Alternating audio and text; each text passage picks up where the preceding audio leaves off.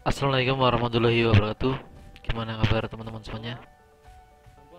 Semoga senantiasa dalam lindungan Allah Subhanahu wa taala dan diberi nikmat sehat dan dimudahkan dalam segala urusannya.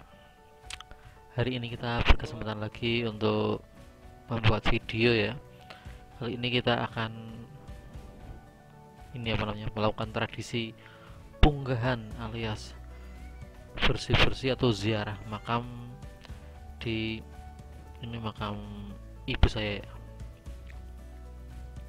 Di sini kita akan melihat suasana masyarakat ya yang biasa menjelang puasa Ramadan. Ini akan melakukan ini apa namanya? Ziarah.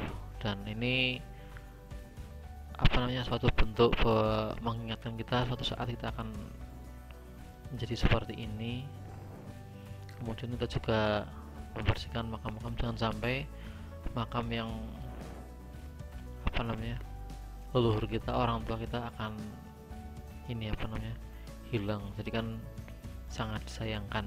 Jadi apa namanya makam ini yang merupakan pengingat kenangan-kenangan kita dan wujud bakti kita itu merawat makam dari orang tua orang tua kita.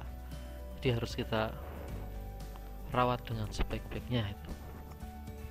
Dan kita akan mengirim doa juga terhadap beliau-beliaunya.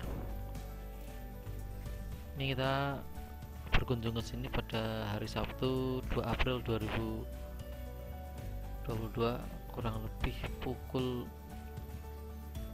berapa ini? Sekitar pukul 9an ini kurang lebih ini kita belok ke arah kanan. Makam ini kebetulan ibu saya ini apa namanya di bawah papringan ya paling timur.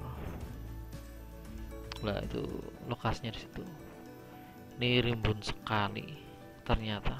Wah saya nyari jalan sini kok ini ketutup banyak ranting-ranting. Uh itu ternyata ini loh apa namanya makam ibu saya itu ada ranting di atasnya untung saya segera ke sini. Jadi harus segera ini kita ini apa namanya pindahkan ranting-rantingnya. Mungkin ada orang yang tidak sengaja menebang itu untung nggak sampai nibani atau menjatuhi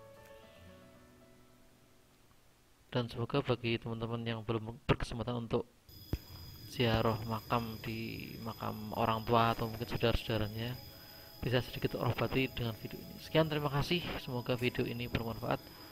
Wabillahi taufiq wal hidayah. Assalamualaikum warahmatullahi wabarakatuh. Ciao, Ari Federsi. Sampai jumpa lagi di video-video selanjutnya. Sih mau Bu. Ampun monggo. Nggih kata.